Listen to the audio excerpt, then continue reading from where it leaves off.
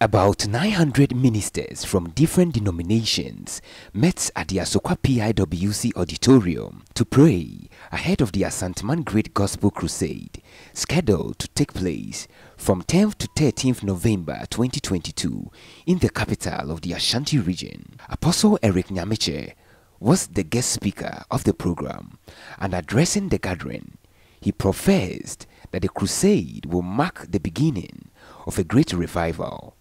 He preached that it is time for the church to step up its transformation game.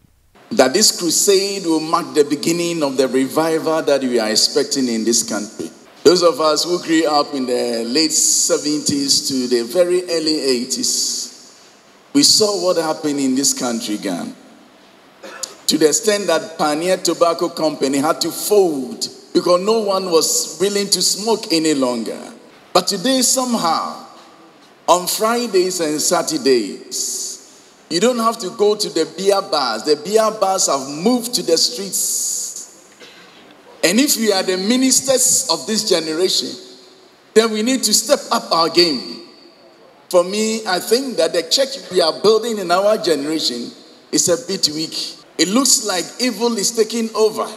Even though we are having many people go to church, the church must sit up and let it be, oh God, that this crusade will mark the beginning of the revival that we are envisaging.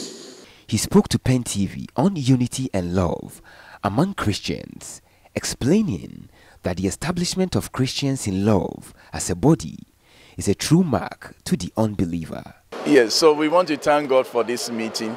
It's one of the preparations towards um, the evangelist calendars coming to uh, Ghana, particularly to Asante Asanteman and to Kumasi. Um, we decided to meet and pray and also to share um, certain thoughts about the preparation towards the, the, the, crusade. That is why we met. And it has been a good meeting. If churches break the denominational barrier, I'm sure even God out there is happy. And so we have enjoyed the meeting. We have challenged ourselves as Christians even to do more than we are doing.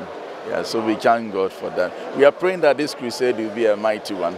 It will be a, a beginning of great revival. Crusade chairman, Reverend Douglas Frempong, who doubles as the general overseer of Christian Outreach Ministry, disclosed the divine mandate of evangelist Daniel Kolenda and other 200 international evangelists to transform not only Asanteman, but Ghana with the gospel of Christ.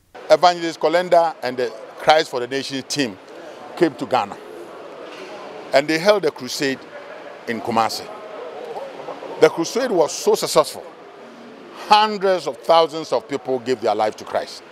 In fact, at the last day of the crusade, about 700,000 people were in attendance. In fact, that in the history of evangelism in Ghana, that is the biggest crusade ever that, that has been held in Ghana.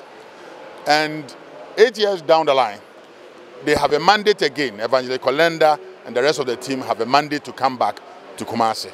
This time, not to reach only the Kumasi city. This time, we are reaching the whole Ashanti region. And so, uh, interna international evangelist, about 200 international evangelists, have come, are coming with him. And they will be here three weeks. And they will go to every city, every village, every school, every market, and share the love of Christ. And uh, we understand that uh, many, many, many pastors and churches are coming on board to help get this mandate through. And so on the 10th to the 13th of November, it's a Thursday, 10th to the Sunday, which is the 13th of November, we will have a major, major final crusade in Kumasi. And we want to invite the whole Kumasi to come. And we know that many souls will be saved.